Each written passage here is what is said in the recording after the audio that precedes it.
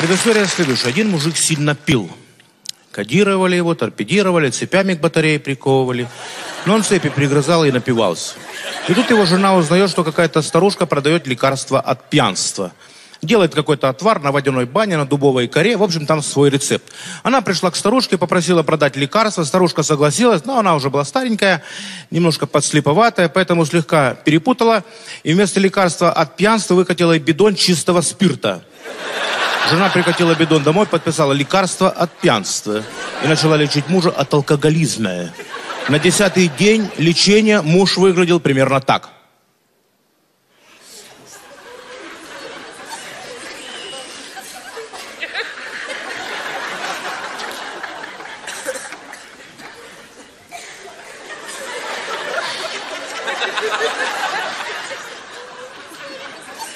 Я полностью победил алкоголизм. Тяга к спиртному прошла абсолютно. Пью лекарства, как прописали. Четыре стакана в день.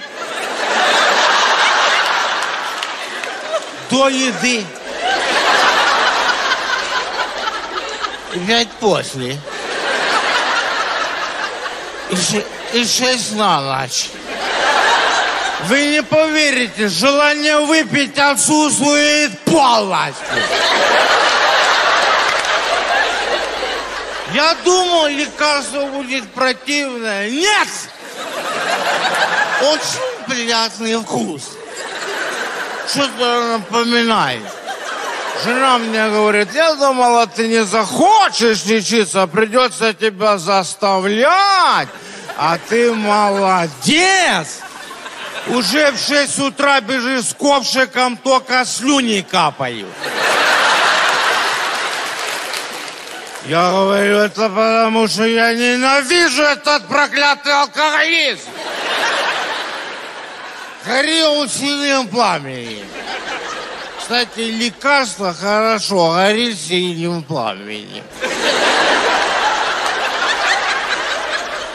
Одного не могу понять, почему ко мне, абсолютно трезвому человеку, стала приходить белка. Я говорю, что ты приперла, скотина рыжая? Я не пью. А она ржет, как лошадь. Соседка узнала, что я пить бросил, по- попросила с мужем поговорить, чтобы он тоже бросил.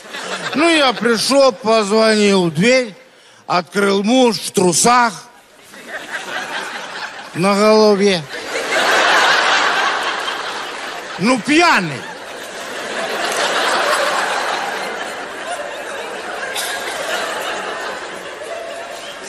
Я ему говорю, как тебе не стыдно пить?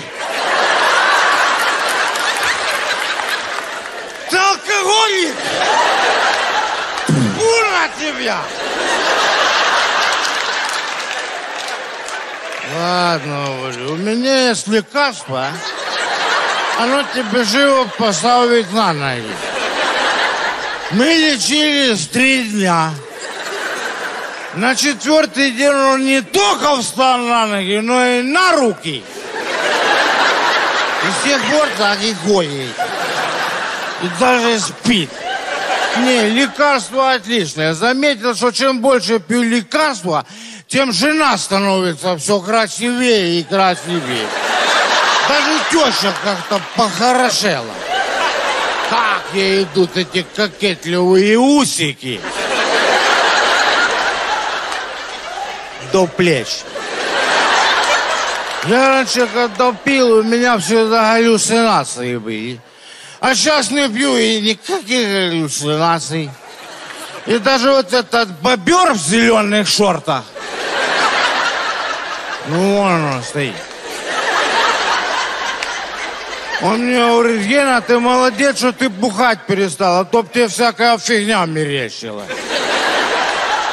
Я раньше, когда пил, я все время забывал, что я уже говорил, что не говорил. По пять раз одно и то же повторял.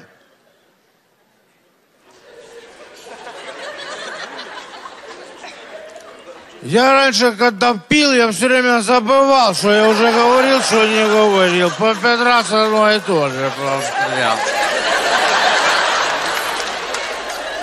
А! Вспомнил, что хотел сказать. Я раньше, когда пил, я все время забывал, что я уже говорил, что, что, что я не говорил. Я как заново жить начал. Пьяного человека только водка интересует. А меня вчера на музыку подтянуло. Весь вечер на баяне играл. Тут теща. Зачем ты разогнул батарею? Занялся здоровьем. Вышел на балкон с голым торсом. Делал приседания, круговые движения тазом. Народу собралось куча. Пальцами меня тычут, фигура моей любуется. Тут теща опять говорит, как тебе не стыдно, ты хоть бы трусы надел.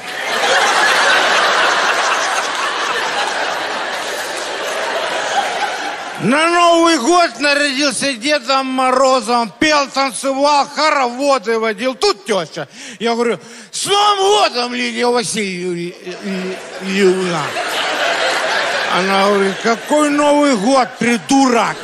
Только 15 июня. Что ты вертишься вокруг кактуса в моем банном халате? Вчера,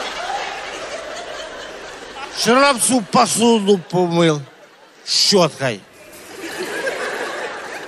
Теща опять недовольна. Зачем ты моешь посуду в унитазе? Что ты ее трешь унитазным ёршиком? Вплоть до того, что с этой посудой не жрет. Даже жене пожаловалась. Говорит, Галя, что-то у меня такое ощущение, что у нас втихаря поддает. Жена говорит, да не может этого быть. Он везде на моих глазах только лекарства пьет. Ну, пошли они попро- попробовали лекарства. В общем, сейчас мы лечимся всей семьей.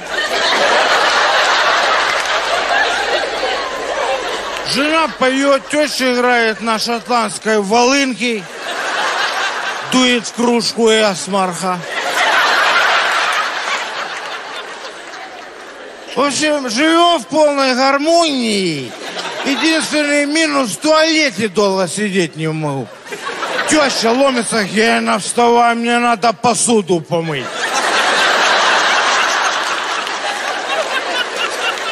Так что, граждане алкоголики, не теряйте надежды, и вы сможете стать таким же респектабельным и серьезным, как я. На лечение.